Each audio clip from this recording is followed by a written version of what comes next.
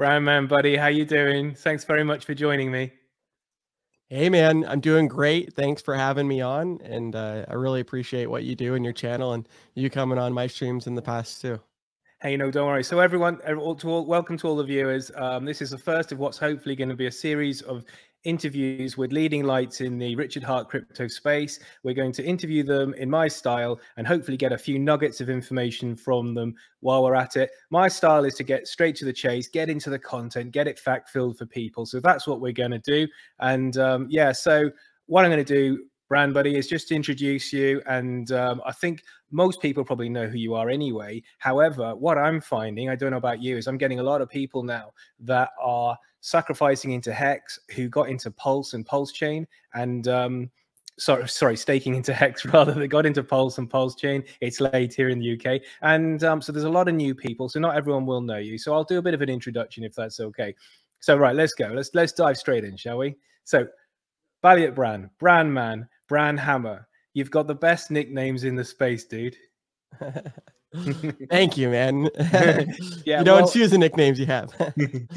yeah, well, you know what? There's a serious. I think they hint to how popular you are in the space. I think it's because you are universally liked and and you know and highly regarded, and that's why I think that they signify the fact that you are a very popular guy, and that's why I was so thrilled. I really wanted, as you know, to you to be the first person that I interviewed, and I'm I'm really privileged and honored that. Uh, that you um, that you wanted to do this with me. So thank you very much. Of course, dude. Yeah, you're doing a really good job, and this community is really something that's growing into something very powerful. Isn't it just? Yeah, I'm loving. I'm really loving it. it. Doesn't feel like work at all. Although for me, like you, it is. But anyway, it's not yeah. about me. It's all about. It's all about you today, buddy. Anyway, talking about you, I think we've. Uh, I think we share a. We share a certain passion for something. I'll just flash something up on the screen. Can you still hear me? Yeah, yeah. Yes, sir. Yeah, yes, well, sir. I, I, watched I watched the whole video of this, and uh, what and I've, I know a little bit about shooting. And what was interesting was you were twisting around the side of that, so you were off balance when you were shooting those targets, and you were still hitting them all, even though you were off balance. And I know enough about shooting to know how difficult that is. As soon as you're tipped over and off balance, shooting from a standing point, and particularly with that, with what you've got there, um, is really difficult. So I was really impressed with that, dude. you know, thanks, dude. It's actually uh so one of the Hexicans, it's a junior USMC. Uh he yeah, kind of yeah. lives next to me, just a, a few cities oh, away. Oh, wow. And anyways, him and I we've been meaning to hang out. And long story short, that was uh that was my first time actually doing that kind of shooting and the first time shooting wow. that gun. Uh, yeah, I just bought it. And uh, him and I did like a a couple no trial way. runs, you know, but but yeah, it was just the first time that that I had done that. And he's like, Bran, you know, don't stand stationary in front of a target. We need to move. And so the first couple times it, it took some getting used to with like the maneuver. And then that one was the yeah. last of the the three tries. And anyways, it's fun, dude. I love it. Uh, self-defense, personal protection, and and just a hobby is pretty much what that is. Oh no, you were crushing it because you were leaning right around it as if you were shooting around the corner of a building, and you were really off balance, and you were still hitting the target. So that was absolutely awful. And you know, else it reminds me of um, it reminds me of the opening sequence of Point Break. You're probably too young. Don't know if you've seen the movie. Oh, I remember that. Yeah. Movie. Oh, yeah. yeah, yeah. It's Swayze, My, right? Swayze. Yeah, that's right. And yeah, yeah. Uh, Keanu Reeves. And it's the opening yeah. sequence with Keanu Reeves, and he's and he's at a range just like that, and he clears it, and it so reminds me of that. So that was absolutely awesome. Yeah, my favorite movie of all time. If anyone's not seen it, I suspect expect every, I expect everyone has. Yeah, yeah. So um no, that's absolutely brilliant, buddy. So yeah, um, and uh, sorry, just just lost my thread for, for a moment. Yeah, so um, so if anyone was thinking of um, going after your keys, they probably best not. Eh? well, and there's there's always stuff that you can do. Like obviously, you know, none of that is intimidating yeah. or anything. It's just something I like to do. But but yeah, there's it. always ways that you can keep your keys secure without even needing such things too. Yeah, yeah, yeah, yeah. Ch- change of tack now. Um, so I was watching in, in researching for this interview. I was watching your very first ever video, and and it, and mm. it hmm. was um, I think I think you felt compelled. It was on your iPhone, and you were in the back of a yard or somewhere, and I think you just felt you had so much appreciation for Richard Heart that you just you felt the need to come on and just thank him basically, which is typical of you and typical of the character.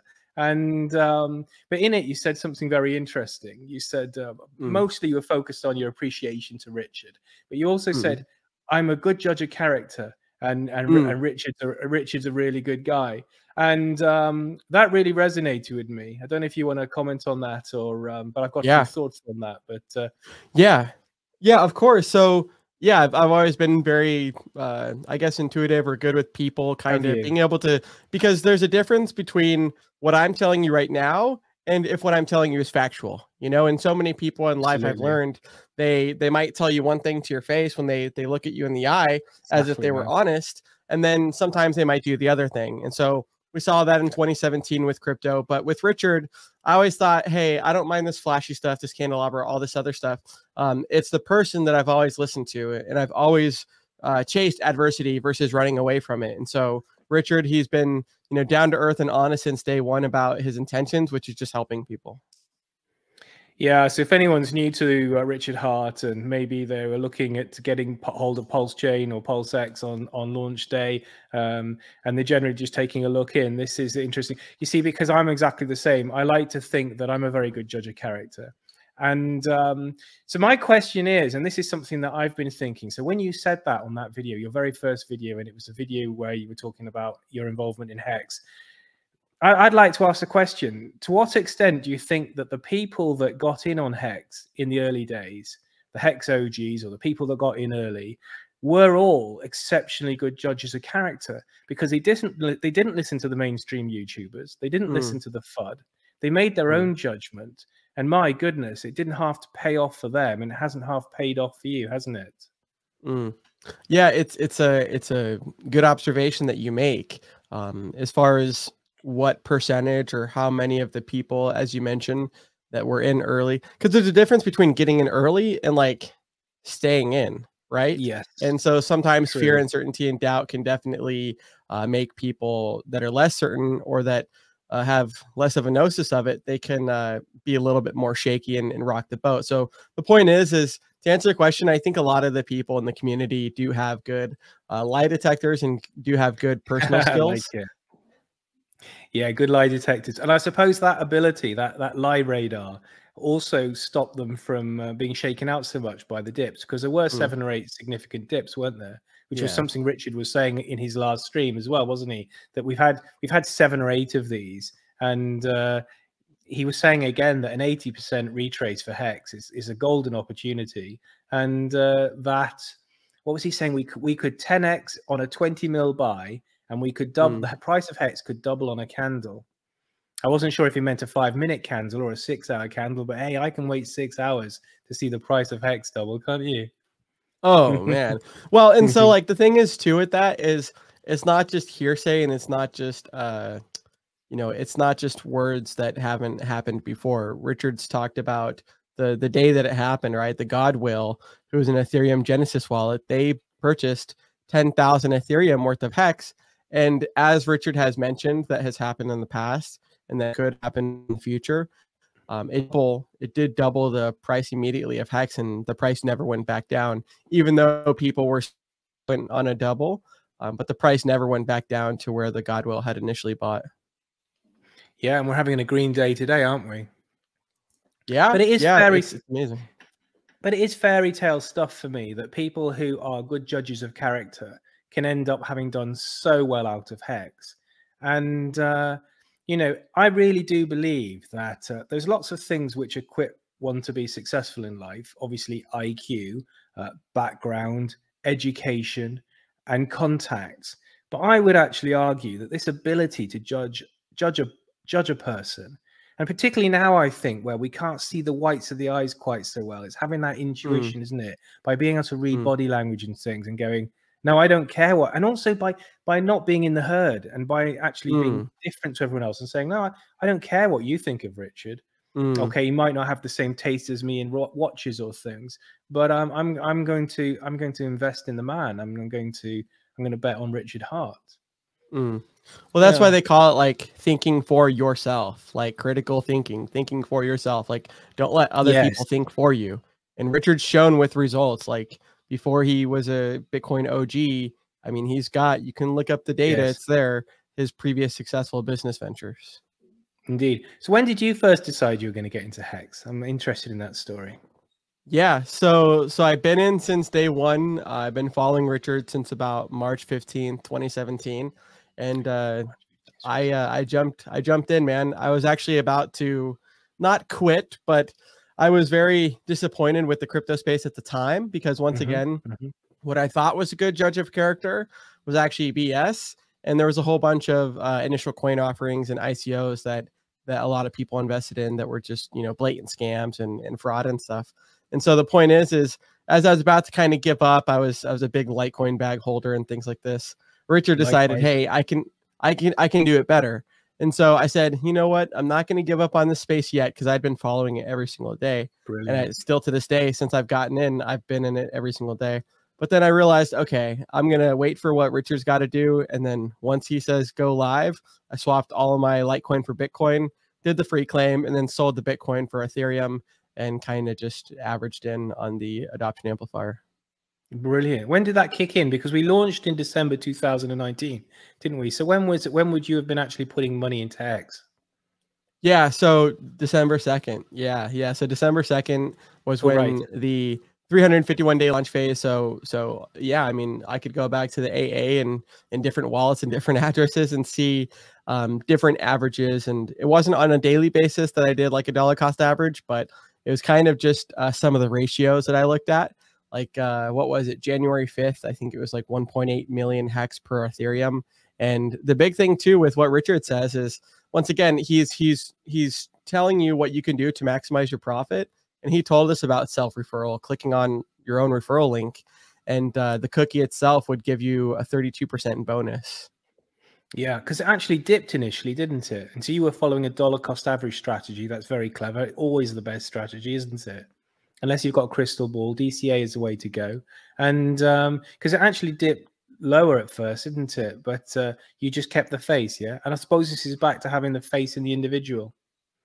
Yeah, yeah, exactly. You know, faith, faith was definitely some of it, and then also like competency too. Like you see in crypto, whether it's Vitalik or some of these other people, it's like, oh, okay, they talk about Ethereum 2.0, which is obviously tough to implement. But then, but then you see people that are like actionable and like people that that have sure. personal skills on top of IQ as well. So they so they've got the yin and the yang, where some people are usually super smart and they might not be as socially adept. And then sometimes it's the opposite too. But Richard has the best of both worlds. So you're right. There definitely was a whole bunch of, you know, faith put into to Richard and and just a lot of trust as well because we'd seen his previous results. And you know, it's awesome too that any controversy that was against Hex or Richard Heart he faced. And so not running away from adversity really showed that, hey, this is a legitimate product that he said it was.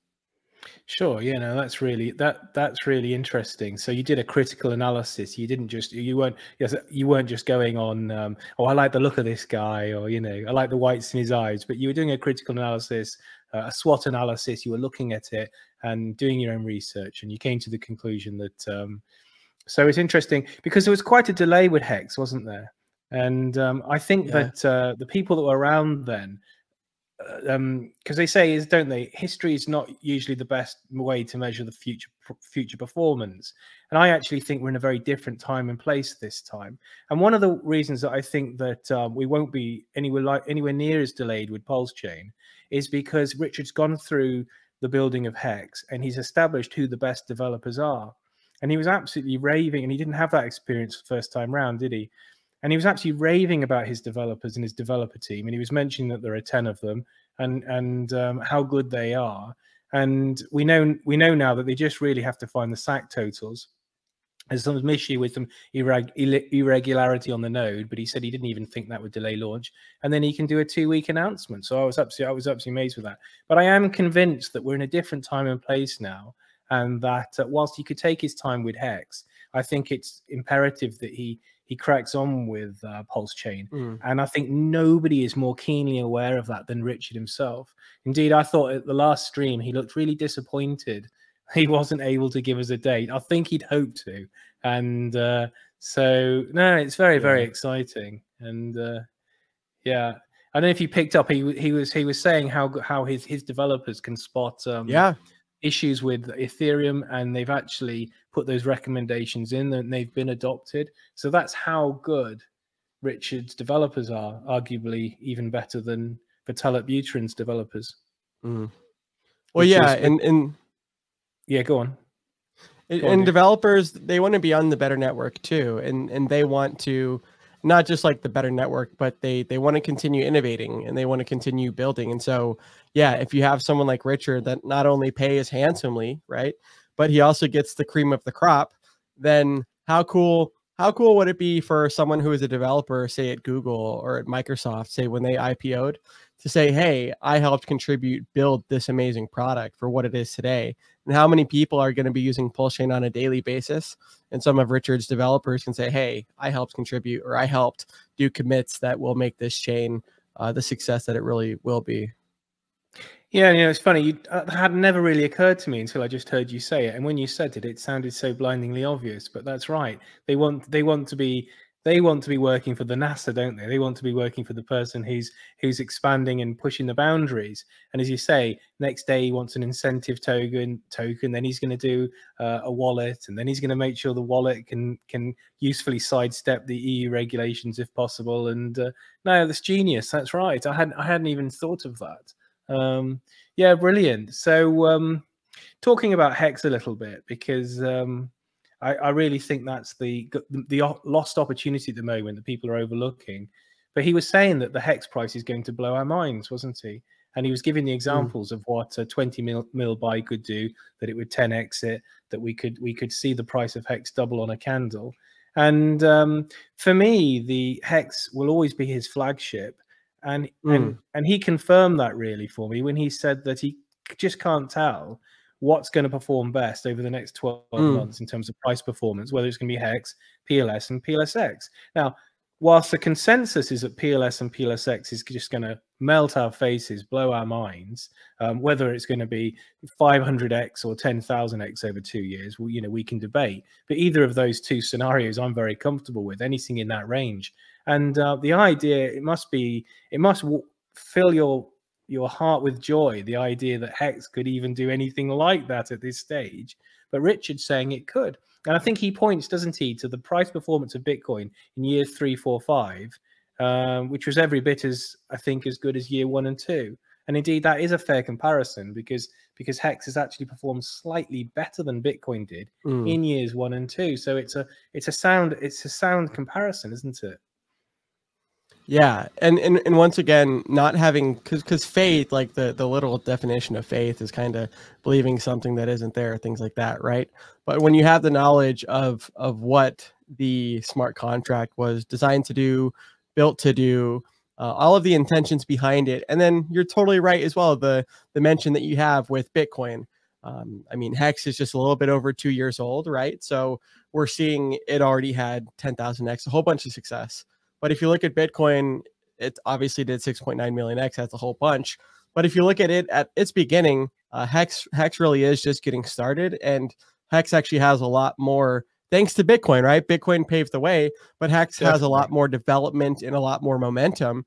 And you're totally right. If you see those three charts, uh, you know, uh, from the beginning to where they're at now, Hex, Bitcoin, and Ethereum, then you see the the angle of what Hex is doing, and it's doing the same thing but just more quickly. Absolutely, and what's nice as well is that the the gas fees on Ethereum have come down enough to make um, to make it realistic for people to pick up Hex, even if say they they just had a hundred dollars they wanted to spend. So I think the gas fees now are about twenty dollars, whereas the gas fees were about ninety. So obviously, um, if you were a kid in a coffee shop and you could only find a hundred dollars, it wasn't really viable. Indeed, it was mm. only about six weeks ago, eight weeks ago, that, that I did try to onboard a kid in a coffee shop and he went through everything and he said to me he said to me oh i can't do it because the gas fees are more than i have yep. to spend and that yeah. hadn't even occurred to me because you know i'm not in that place and, I, and that hadn't sure. occurred to me and i felt bad etc so mm. um yeah so i got him in on the uh plsx sacrifice but um the nice. uh, yeah and now of course it is if, even if you only had $60 to buy some hex and you pay $20 gas fee well you're in then aren't you? You've still got $40 into the hex and and you're in the game and it's it becomes a viable a viable alternative. And of course the yeah. the big investors they don't they don't care and that's why ethereum continues to do as it does you know. Richard was saying about people spending millions literally millions on nfts uh, on ethereum and just how high the gas fees are are there. It's absolutely astronomical so um No, I thought that mm. was I thought that I thought that was interesting as well. When did you last? I know you've got a passion for onboarding people, and I onboard. I've also onboarded somebody who certainly wasn't worried about the gas fees quite recently in Hex. When did you last onboard somebody? Uh, it's funny that you say that, and it's funny that we share a similar passion with uh, mm-hmm. self defense and in firearms and stuff. Um, it was actually most recently at the firearms store uh, when I was uh, purchasing it. an item and uh, you know background check and and finally received it and and the guy uh, when I went to go first fill out the papers, he goes, "Hey, you know what is that hex? You know what is that hex hat or what is that shirt? I forget ah, which cool. one he asked." And so that's why I always wear the merch around and once again, I think it's very cool to represent. But but uh, so I told him a little bit about it, and then the the week later, actually, it was about two weeks later when I went to go pick up the uh, the material again. He told me, dude, in the past two weeks since I had first told him about it, three of his friends had already told him about Hex, and I'm thinking. Wow, wow, dude, I've never heard that kind of experience before. And so it wow. really just goes to show you that it is be- it is becoming more popular. He did mention as you say, with uh, with something like Pulse Chain, the fees are really going to be uh, a solution, and they're going to be solved compared to say onboarding versus Ethereum. I love because, this.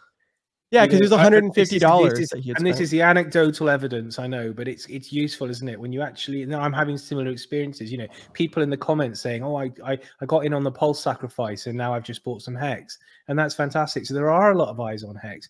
I think there is this mistaken belief. Well, understandably, I suppose it's the precautionary principle. People are holding off, see what happens you know, on, on, the snapshot, on the snapshot, on the launch to the price of Hex on Ethereum and things, and, and possibly just holding off to to get Hex on Pulse Chain. But of course, if you get Hex now, it's copied over, isn't it? Which is absolutely fantastic. I think it's the big mistake. Obviously, to make lots of money in crypto, you have to be doing what the 15% of the herd are doing and not what the 85% of the herd are doing. And I personally think at the moment that uh, 85% are holding back they're not re- renewing their stakes. They're holding off. They're holding off. They've got into Pulse Chain. They're watching your videos. They want to get Hex, but they're not sure now's the right time. There's quite a few of the guys, you know, who were into Hex from the beginning, who who are doing the, the videos with like us, who were saying hold off, and I, I think that's bad advice. But it goes back to Richard Heart. This is why I'm a totally Richard Heart focused channel. I only promote cryptos that've got RH in front of them and because I have such faith in the guy, or belief rather, and sure, yeah, sure. I, am not, not saying faith. You know, I have uh, trust me, I have I have done the background checks and I've done the D, DYOR. Um, but because I have so much confidence in the competency of Richard, I'm happy recommending. I'm happy saying to people, I don't I don't mind sticking my neck out. You know, I mean, I called the 10 cent bottom. I said to my viewers, "This is it. We're not going any lower." I was I was I was buying aggressively from 12. I said 10 cents. And and you know that's a risky play, you know, because you don't want to get it wrong. As uh, not comparing myself to Elon Musk, but as Richard Heart was saying in his last stream, Elon Musk was recommending to people buy Dogecoin at the top on mm. national mm. television. On national television, dude. So mm. imagine if somebody sold their house because Elon Musk said, uh, I'm going yeah. back to the anecdotal evidence. I have my friends, they say, Oh, yeah, I'm in crypto. What I say, what have you got? And they show me and they got Dogecoin and they go, "Oh yeah, and Elon Musk has bought Dogecoin." And I said, "No, they haven't, buddy." He goes, "Yeah, yeah, yeah, no, mm. they have. He has. Elon Musk has bought Dogecoin." And you think, oh, you just can't help some. You just can't help some mm. people, particularly when they get to my age. But you're mm. you're a lot younger than me. But when Stuck you get to my age, it's, it's uh, yeah, a lot of the time. I like to think I'm not. Not everyone is. You can't, yeah, you can't generalize, but but a lot of, of people course. are. That's for sure. Yeah. Yeah. And um, what did you think of the Alex Lorenzo Lorenzo stream? And I thought that was quite good. I thought he asked a number of questions from a different angle. It just allowed Richard to explain things a little bit better, and uh, mm. I, I, thought it was really good personally. Yeah, yeah, me too. And uh, I think a lot of us were were kind of uh, we were intrigued because we'd never seen that kind of title before of Richard Heart loves puppies, and same thing in the description. yeah, yeah, yeah. And so he explained why he had uh, chosen that because of you know being oh, yeah, yeah. banned for. So, so the point is, uh, to your question, I thought it was a really good interview, and, and I really liked it because that was the first time that I had heard of Alex Lorenzo, and I I like you know Richard can do the hostile uh, debate style and he can you know do the bring your heroes here to die but then he can also do the calm casual collected uh, educational stream, which is what that was. And I think he did answer some questions that maybe haven't been brought up for a while. And Richard really was in his flow. Uh, one of the things I've really noticed is that he has, um, I mean, he's always been at a high level when it comes to promoting his cryptos and the messaging and, you know, the critical messages that he wants to convey. But he he has taken it to a whole nother level now, I think, when it comes to, well, particularly Pulse Chain launch. And I wonder how much of it has been a positive influence from this Patrick guy who he has helping him with the PR.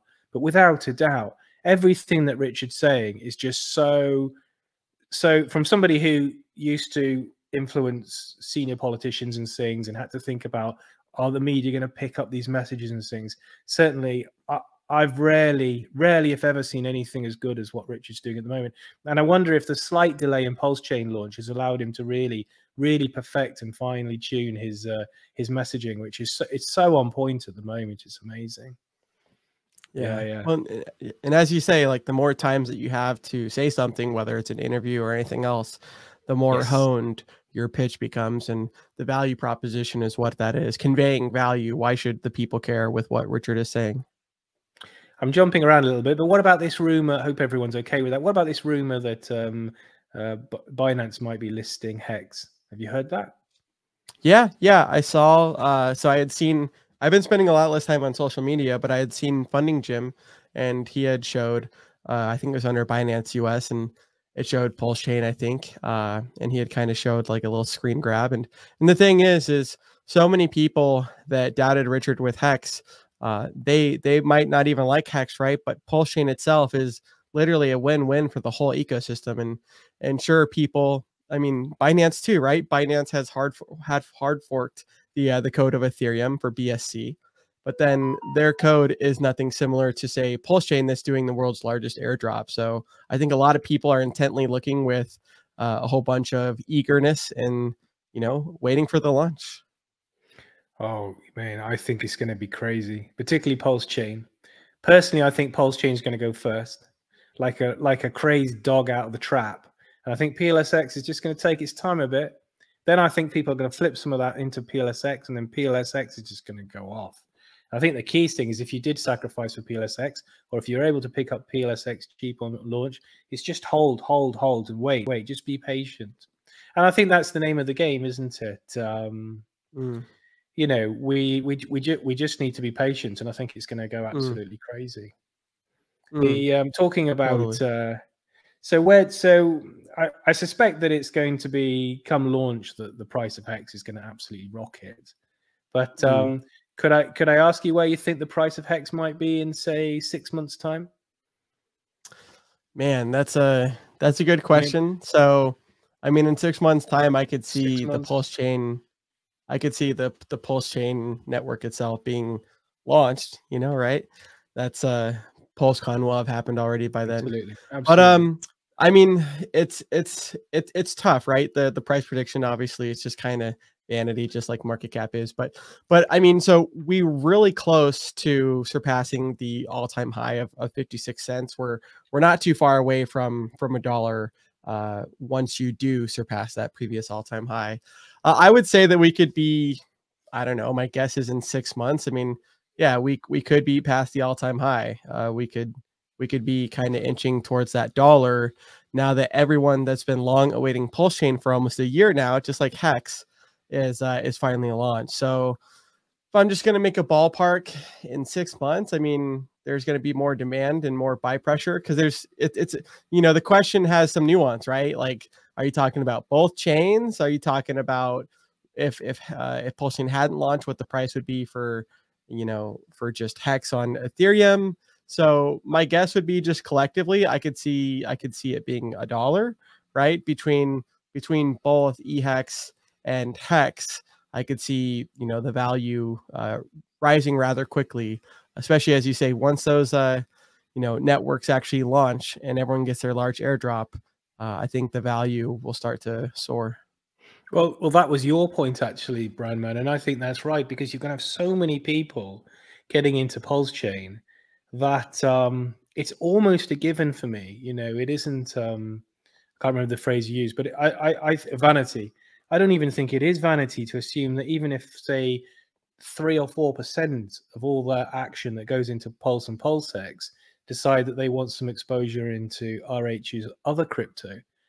I mean, it just makes sense, doesn't it? You know, we all know, well, it's all right, we don't all know, but everyone who knows a bit a little about crypto investment knows that you don't buy at the high. That's where it's risky. That's where you're getting out. That's where you're selling to the people that are buying. But you um but you get in at the lows. And this is this is this is this is a low risk area.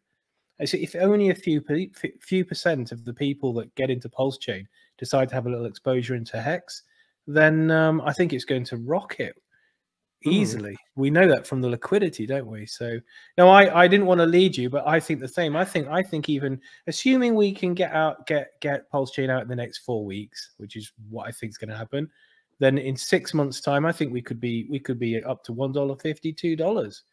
I think at least I think at least a dollar personally because yeah. people are just waiting for that confirmation, aren't they? They're holding off as well because they want they're wanting to see Pulse Chain launch. They're wanting to see that delivered.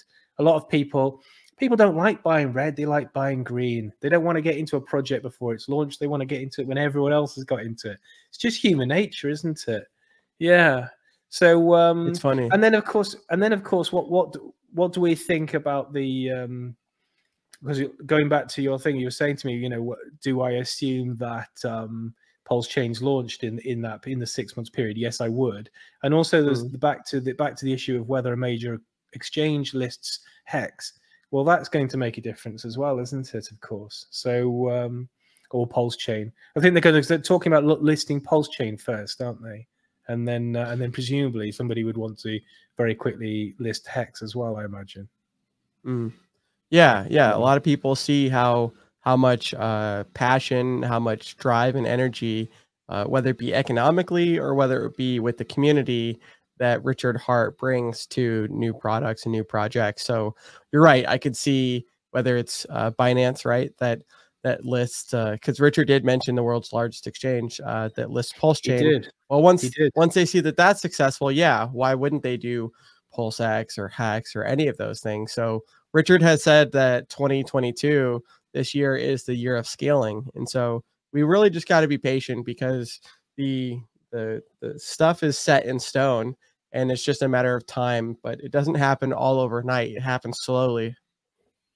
Absolutely, Brad. So winding up, winding up. Um, you're a young man that has done exceptionally well in a short time, which is not sure. dissimilar. You remind me a lot, if you don't mind me saying, of a young Richard Heart and much like yeah. Rich Heart, he he he was he was a multimillionaire. I think still in his twenties. Did so well that he was able to just sort of take a long break, regroup, did a bit a bit too much video gaming and partying, but then he went back and uh, and then decided he was going to have the best best cryptos in the space, and I think he wants to go on to um, do the the US presidential campaign next. But um, so I was wondering what what your plans are if you have any. Do you are you planning to um, once we've got through pulse launch etc are you going to take some time off and then and then decide what you want to do? Or do you have a like a life map all planned out? Are you going to what what's your feeling? Do you just want to keep working? Because you're a bit of a mm. workaholic aren't you? Are you just going to keep yeah. going or you're you going to take a break? You know it, it, it's passion. I mean obviously you also have to ask yourself like what is the efficacy of what you're doing? Like how how effective something is. And so sure. uh, this week this week i've streamed probably a lot more than I have um, since the past, right? But I, I, like to do I like to do the weekly live streams because it's almost. And I'm, I'm sorry if there's any background noise. Um, no but noise. so, oh, okay, perfect. Um, so well, you've got Joe like... Rogan's mic. You've got Joe Rogan's mic there, so you're laughing. nah, that's perfect. I love it. Um, but so so I, live streams. Yeah, so it's like it's therapeutic to do the live streams, and it's a skill that I've always liked doing. I've always liked teaching. I've always liked learning. And so I really enjoy the aspect that not only can, you know, because I've got over 5,000 subscribers and that's a lot of people. And so sometimes it kind of hits you like sudden wealth syndrome does, where it's like, damn, dude, I really got over 5,000 people that that have subscribed to my channel. And so it's really cool to have built something like that. But to to ask uh, to answer your question, I would say that I uh, I just continue living life. I mean, for me, I've uh, towards the beginning of Hex, I kind of had an imbalance with uh, sacrificing a little bit too much. Like I've learned, okay, if you've got good healthy habits such as working out, going to the gym, cooking food, uh, having a healthy diet, then don't sacrifice those for for short-term things, which is what I had done with some of the you know just diving in deep with the hex uh, family and the the hex community. And so i would just say that yeah on a daily basis i mean whether it's spending time with my family my loved ones you know the girlfriend um, i don't necessarily think i have anything to to build per se on pulse chain but i love to support the people that are. And i love phil- uh, phil- philanthropy and kind of just you know supporting the community and kind of just leading by example. So i don't really have any major plans but uh, aside from just getting getting healthy again, staying healthy, you know, being the the best version of myself that I can be uh, on a daily basis. And you know, the, the other thing that I'll say real quick too about the wealth is it uh it really does just expose more of who you are right and so you see some people that that get a whole bunch of wealth and and they might not be able to sustain it because they they live this glamorous lifestyle that's maybe not sustainable that they can't keep up with but because mm-hmm. they didn't have it before, now they want to make up for what they lacked in the past. Yeah. yeah. Um, and as we're sort of closing off, what would you say to somebody who got into, because this inevitably happens. I got into Ethereum in 2017 at the top then. Uh, most people do. Uh, what would you say to somebody that was getting hex at 50 cents and 40 cents yep. and has, you know, really just been seeing it go down, but is that it, but is still here watching now? What, what would your message be to them? So first off, it's a great question because someone asked me actually at the Hex conference itself here in Vegas in person. Uh, they had asked me that same question, and so my answer is this: is that you you even had mentioned it earlier. You had alluded to the answer that I'm going to give, which is that um, I mean everything in life really is cyclical, and really are cycles. When you when you look at nature, when you look at businesses, markets, anything. Um, mm-hmm. So so the point is is that it's it's done it's done a whole market cycle i would say right i was telling uh, one of my family members you know hey dad i think i think 10 cents is the is the bottom and i think that it is the low and stuff and not to say that the the future couldn't you know wick down or things like that but sure. to answer your yeah. question the thing that i'll say is uh you know if you kind of just understand what what you're holding on to what it's done in the past uh if you look on say staker app right you can see the numbers of how many new wallets were created that day. And yeah. it scans the whole Ethereum blockchain. So it's not just Gnosis safe wallets on Staker app, it's, it's everything, including MetaMask wallets. So you see that, hey, there's more buy pressure than sell pressure. And you see that, yeah. you know, some of the people that are selling and things like that, which is obviously what causes those red candles. Well, you see that it's, it's the train analogy where if someone is jumping on a train and then they get off, well, that train doesn't slow down. That train keeps going. And so if someone, you know, the more people that kind of completely sell all their bag, or the more people that have already helped murder the price and create those big red candles, well, then the harder it is for them to do it at an all time high. And so what you oh, eventually oh, yeah. have is more buyers than sellers. And then the market goes from making a low to then going up again. So I would just say kind of having a little bit of patience. I mean, obviously, it's not fun to see uh, a market cycle and to experience a correction. But if you can kind of just flip that, you know, you said you said the same thing. You said people love to buy when it's green and people hate to buy when it's in the red. Well, if you can flip that emotion, because that's emotions. If you flip that emotional decision into a logical decision, which is, hey, maybe I bought at 40 cents. I could I could stake to you know to earn some yield and to kind of dollar cost average um, from where I had bought in high, or as it gets lower, you can do the same thing as well. If someone had more dry powder, they could kind of average in towards the low. And that way it brings their cost basis from, say, 40 cents maybe down to 30 cents or 25 cents, depending on how much they averaged in. Oh, that was brilliant, Brian, man. And that was really well put. And I love that train analogy. I suppose you're getting the noisy drunks off the train and you're getting better customers in at the next station. But no, but I, I, I love that. That was really, really good. And yeah, and it just feels, doesn't it? Like naturally, it doesn't want to go any lower. As you say, we mm. could hmm. have a Black Swan event, we could have a wick down, but it just feels that there's going to be so much bounce back if it tries to go below 10 cents that it's naturally seems to be the right that it seems to be the point. You know typically we retraced i think 60 to 70 percent. This has been 80 percent. That's a healthy retrace. Our founder has said it's a healthy retrace. In fact he was saying it again wasn't he a couple of days ago? And um, yeah. if that isn't a buy signal i don't know what is. Um, Brian, that's been absolutely fantastic. If people enjoyed it, please uh, give us a like and a sub on the way out. I should have asked earlier, don't think I did. And uh, just share around and uh, let us know what you thought. Um, might do the next one live, but it was as it was my first one. And uh, also, I know that you much prefer being the interviewer than being interviewed, Bran. So I really appreciate, really appreciate you doing this because I wanted to get started with um, one of the leading lights in crypto, and uh, I couldn't think of anyone better than yourself. Thanks very much, buddy. That's been absolutely awesome. Enjoy the rest of your day. Thank you. Cheers, dude. Bye.